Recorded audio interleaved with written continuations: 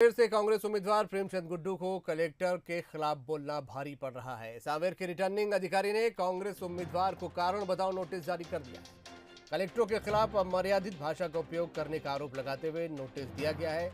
इसके साथ ही दूसरा नोटिस भी जारी किया गया है। इसमें तुलसी सिलावट और ज्योतिरादित्य सिंधिया के लिए अपमानजनक भाषा के इस्तेमाल पर जवाब देने के लिए कहा गया है।